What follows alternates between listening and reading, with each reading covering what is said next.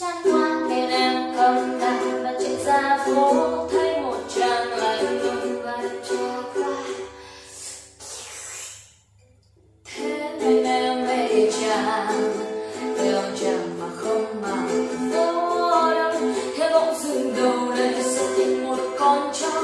Nó rồng rồng rồi tự nhiên là vô căn. Xoắn quá nên em là làng con chó à em chẳng con cả đi lên theo bóng rừng chẳng lấy cây ra sửa nó đi.